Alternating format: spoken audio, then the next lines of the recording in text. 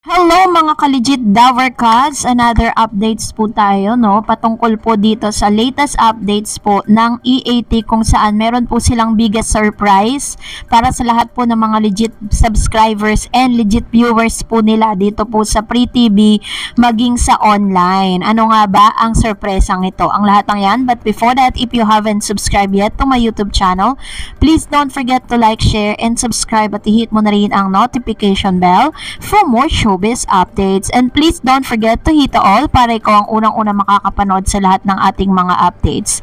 Bago nga tayo magsimula, of course, nais ko po muna magpasalamat sa lahat po ng mga legit viewers, subscribers at legit Dover cards po natin na lagi nag-aabang at nakaantabay sa lahat ng ating mga updates. Thank you so much sa lahat po ng mga subs legit uh, subscribers po natin ano. At ngayong araw nga bago tayo magsimula ay uh, pinagdiriwang po ng buong mundo ang sabi po ng uh, legit Dovercat sa TVJ, Happy World Smile Day. Ayun. Meron pala talagang ganyan, no? Hashtag legit Davercards. So, Happy World Smiles Day. Dapat daw lahat tayo nakangiti lang habang nanonood tayo ng uh, bidyong ito, ano? So, eto na nga, no? Kasi may bago tayong nabalitaan na ito nga, may biggest surprise na magaganap bukas ng uh, Sabado. So, 11.30 pa lang dapat nakatutok na po kayo sa EAT dahil mas maaga po yung kanilang pag-air, no? So, mga 11 a.m. po, magla-live na po yan si Raisa dito po sa Facebook page po ng TBJ. Abangan nyo po yan kung paano po sil paano yung preparation nila, of course. And syempre, para po salubungin ang kanila pong uh, bisita bukas from LA. From LA ba? Or from America? Ayun. Di naman po sinabi kung saan particular sa America. Pero, uh, kanina lang nga ay uh, in-announce nitong uh, isa sa pinakamalapit dito kay Tasing, dito kay Tasha, no? Kung sino po yung, yung uh, mapapanood natin bukas. So, kanina, kanina nga ay talaga namang very, ano, very refreshing yung sa mata yung, uh, ano, no, suot ni Tasha. Alam niyo po ba na araw-araw, eh, inaabangan po ng ilan sa mga legit Dover cuts natin yung kum, kasi merong sariling style itong si Tasha kung paano siya manamit eh. So makikita natin talagang medyo sometimes medyo balot na balot, minsan naman merong konting skin lang na nilalabas siya. No, pero all in all hindi po siya katulad ng ibang mga artist na kailangan maglabas pa ng dibdib, kailangan maglabas ng kung ano-ano para lang talagang 'di ba, pag-usapan or sumikat, 'di ba? So kung gusto niyang palabasin i-portray na character sa publiko is yung Gen Z na kahit hindi ka maglabas ng kahit ano, 'di ba? Kahit hindi mo i, i ano, i uh, pangalandakan, 'di ba? Yung yung ano man yung mga dapat na makita. Yung mga nakikita na ngayon na pre na na nakikita ngayon sa social media, sa television, siya hindi po eh, ibang klase. Kaya naman sobrang dami po talagang naglo-look up dito kay Tasha. At no wonder if one day itong si Tasing eh ipapasukin na rin po yung ano, yung uh, um, yung beauty pageant dahil yung kanyang mami naman ay talaga namang galing dyan ano, naging binibining Pilipinas ba siya noon or di ko na maalala eh. Pero ang alam ko po talaga is nasa linya siya ng beauty pageant ano. And of course, sinabi rin nga na parang ito nga uh, si Tasing ay nag-aaral na rin para sa kanyang sa kanya pong pag-arte. At kani-kanina lang po eh nakita natin na may bago na naman po silang sponsor. My God, hindi na po nila alam kan paano po nila pagkakasya yung oras nila dahil sa tat 2 and a half hour na kanilang pag-eere ay talagang kinoconcise na po nila yung commercial load nila dahil gap hanggang gap 3 lang, minsan umaabot pa ng gap, gap 4, babalik sila pero hindi na po nakukuha pa yung pinakahuling segment na wag kayong ganun, oy. Ito na nga yung pinaka-biggest surprise, panoorin natin uh, ito. Hello po, Lola Belen, uh, parang masaya po kayo ngayon ah. Vic, Vic, Vic, may sasabihin ako. Uh, Lola, Lola, Lola, ano po yun? Gusto ko lang ibalita na approved na ang visa ko papunta dyan sa Pilipinas. Ako dyan bukas. Finally, makikita ko na kayo. Apo, Tash, makikita na kita.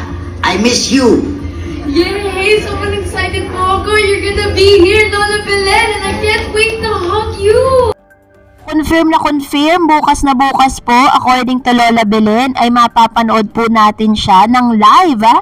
Hindi po video, ha? Hindi AI ang mapapanood natin, kundi live na live. Ito pong si Lola Belen ay tutungtong po sa studio ng EAT. At yan po yung aabangan natin. Kasi nga 'di ba parang ang ang pinaka ano natin dito, ang aabangan natin, mawawala ba itong si Wally Bayola sa barangay or ah, possible na tinaping na nila tapos tsaka po nila ipapalabas habang nandun naman si ano no? So hindi natin alam eh. So bukas po malalaman natin yan. Kailangan lang nating tumutok ng 11:30 AM sa kanilang live. At sabi po ni Bossing eh bukas daw po mag magkakaroon ng parang fiesta feels dito sa EAT. Magkakaroon po ng parang celebration para po sa pagdating ni Lola Belen. Yun po yung talagang kaabang-abang at nakakatuwa lang din talaga. Parang hahangaan mo kasi napaka-brilliant lang ng idea ng mga creative staff and creative directors na naiisip nila yung mga ganitong klase ng segment sa kanilang programa no na never pa pong ginawa ng ibang noontime show. Kaya po talagang solid talaga na masasabi mo na yung 95% na sumama sa EAT na nag-exodus po sa tape going to to TV5 eh talagang masasabi mong nahasa na sila ng todo for 43 ye- 44 years of existence ng noontime show. So no wonder kung bakit talagang hanggang sa ngayon ay namamayagpag at nangunguna pa rin sila. Kasi ito po yung noontime na wholesome eh. ba? Napaka-wholesome and uh, nakakatawa siya pero never siyang nang lait ng ibang tao. Yun po yung isa sa mga hinanga ng ilan sa mga manonood natin when it comes to style of uh, pagpapatawa nito pong uh, EAT at ng TBJ. Kaya naman bukas po asahan natin na 100% ang suporta ng legit Dover Cards. So yun, bago tayo magtapos, magre-react tayo sa ilan sa mga komento ninyo patungkol sa last update natin, ano? At narito po ang mga komento po ninyo magbabasa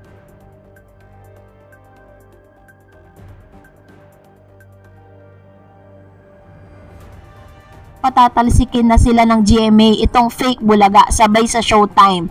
Ayan. So, ang akin pong pagkakaunawa is parang hindi na po sila bibigyan ng another chance para po mag-renew ng kontrata kasi parang hanggang December 2024 na lang sila. At ngayon, naghahanap pa sila ng kakolab para po sa pagpasok ng taon, no? Kasi ibig sabihin lang nun, hindi na suffice nung ah, kanilang kinikita yung ah, yung gastusin po nila araw-araw. Dito po sa nasabing noon time. Kasi araw-araw talagang namimigay din sila ng papremyo eh.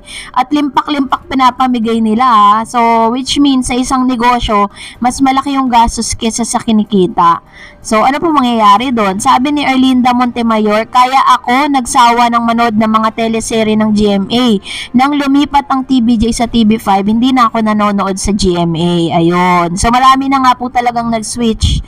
No kahit po ang hirap-hirap ng signal sa TV5 pero still eh mas marami pa rin talaga ang sumusuporta dito sa TV5 mula nang pumasok ang TBJ dito.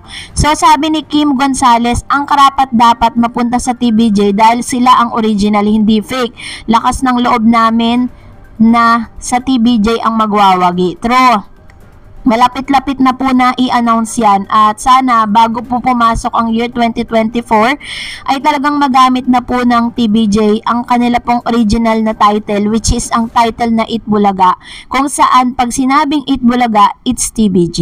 So, yun lang anong pang uh, ano man pong inyong mga komento at reaction sa ating update. Mag-comment lang kayo sa comment section natin. Of course, kung di ka pa nakapag-like at subscribe sa channel na ito, don't forget to like and subscribe and please follow me on my Facebook page, Dar Eds TV.